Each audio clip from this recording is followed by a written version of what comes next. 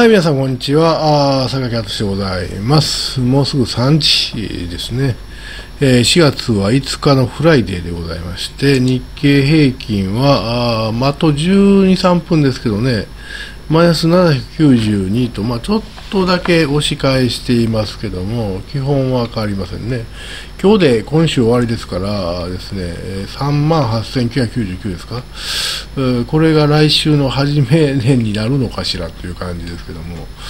まあ、その他特に動きは、あ香港がプラス2点じましたね、プラス21です。えー今日、上海お休みなんでですね、中国勢は控えてるはずなんですけどね、はい、えーまあ、その他、原油高いな、86.85ですね。えー忙しいドルウォンはうにゃっとしてますね、1351.97というところでございまして、はい、えー行きましょうか、あですね、えー本題はアメリカの大統領選挙ですね、JB プレスというメディアに深川隆之さんという方がお書きになっている、昨日出た記事ですね。狙いはノーベル平和賞獲得か、ウクライナ戦争を24時間以内に解決させると豪語するトランプの打算と誤算というですね、えー記事でございまして、ちょっと読みましょう。長いんで、えーですね、触りのところだけね。え2024年11月5日の米大統領選挙は民主党現職のバイデン氏と共和党で前大統領のトランプ氏の一騎打ちでほぼ確定した。ただし、もしトラ、つまりもしもトランプ氏が大統領に返り咲いたらは、多くの人間にとって相変わらず懸念材料だ。まあ懸念材料の人もいれば期待してる人もいますけどね。アメリカファースト、メガ、メイクアメリカグレートアゲイン、アメリカを再び偉大な国へって、今でも偉大な国ですけどね、日本から見ると。を叫び、国際問題をあまり気にせず、内向き思考を鮮明にするトランプ氏の動向はやはり気になると。うん、特にアメリカが盟主の NATO、北大西洋条約機構に対して手厳しく、対 GDP 比2%の防衛費を負担しない加盟国を守る義務はアメリカにはない。ロシアなど侵略者が好き勝手にしてもそれをむしろ促すと恫喝。怖いこと言うてるはるやん、この人。まがいの発言を繰り返し、NATO 脱退までしたスルーしますと。トランプさんの思考っていうのはアメリカンファーストなんですね。つまりですね、アメリカはアメリカのためにあのためにあるんだって、同盟国のためにあるんちゃうんだお前ら自分らで自分らを守れよと、まあそういうことですね。アメリカ外交に詳しいある国際ジャーナリストは、ロシアのプーチン大統領は小躍りそうな発言ばかり、トランプは一体どちらの味方なのかと戸惑う。だが、こうしたトランプの振る舞いにはどうやら裏の狙いがあるのではないかとの噂がある。富と地位を手にした人間が次に欲しがるのは名誉の獲得。できればレジェンドになりたいと願っているのではと。えー不動産取引で財を成し、ゴルフ場など多数の物件からなるトランプ帝国を築いただけに富は十分に持つって、まあちょっと怪しいですけどね。最近の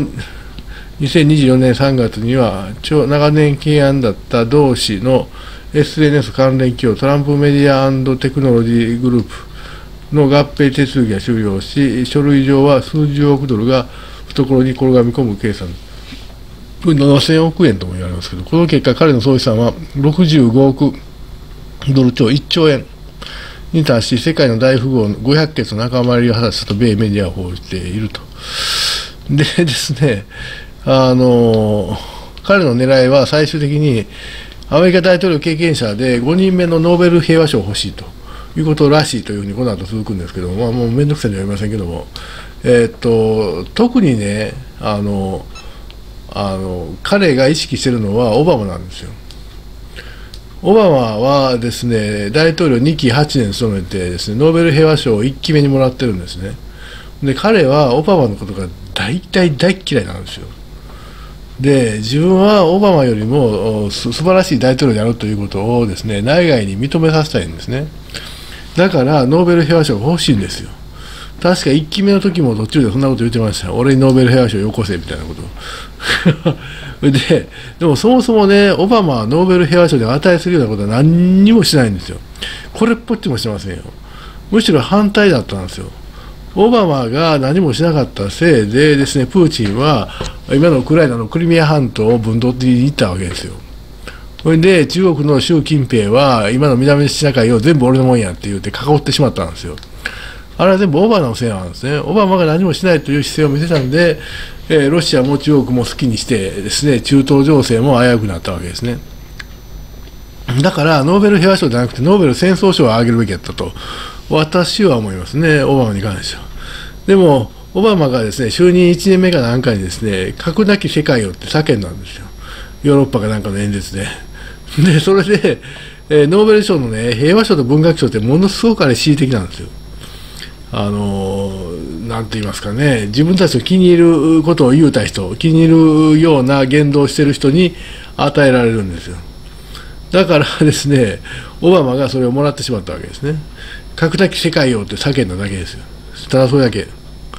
そんなん岸田でも言うてるやん。記者にもあげえなと、私は思いますけども、でも、オバマはアメリカ大統領としてそれをもらった、オバマ自身がなんで俺がもらえんのって言ったらしいですけど、まあね、でそれをはためで見ていたトランプは悔しくて仕方がないんですね。なんで俺に平和賞をくれへんやと。あのオバマがですね8年間大統領の時には戦争ばっかり起こってるわけですよ、戦争や紛争ばっかりが。自分がやった4年間の時は全然紛争あれ起こらへんかったんじゃないかと、ややこしいことが。俺が世界の平和を守ってたんやっていう、そういうふうに思ってるらしいんですよ、あのトランプは。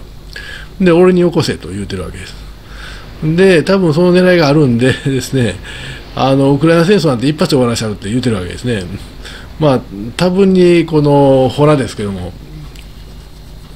ただ、現実的にアメリカがウクライナを支援しなくなったら、ウクライナは戦争継続能力を失います。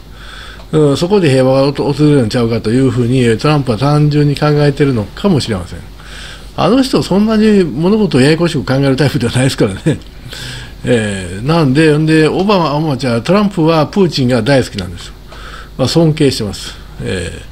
ー、なんであの、プーチンが勝ったところで世の中何が悪いねみたいなですね、そういうふうに思ってるわけであって、まあ、非常に偏ってるわけですよ、トランプも。えー、なんで、えー、もしかしたらですねそのノーベル平和賞が欲しくってウクライナを無理やり解決するという方向に持っていくのかもしれませんね。まあそれは分かりませんけども、ノーベル平和賞なんかもろだってもらわなくていいや。ん、あんたアメリカの大統領やんと私は思いますけどね。まあしかし、えー、それぞれの心の内というのはですね、他人からは伺い知れないものがあってですね、オバマがノーベル平和賞をもらったんやったら俺も欲しいというふうにあの単純なじいさんはですねそう考えているのかもしれません、えー、それでですねウクライナがですねその材料にされるんであれば私とかわいそうやなという気はしますけどね。まあ、よう分かりませんけどね、よう分かりませんけど、まあ、トランプというおじいさんはそういうちょっとマットな、マット な発想をするおじいさんではないかなという気はいたします。はい、ではですね、この今読みかけました JB プレスですね、狙いはノーベル平和賞獲得か、ウクライナ戦争を24時間以内に解決させると豪語するトランプの打算と誤算と。まあ、その後誤算という部分が書いてあるんでしょうけどね、えー、のアドレスを貼っておきます。1ページ目でございます。はい、皆さんどうもありがとうございました。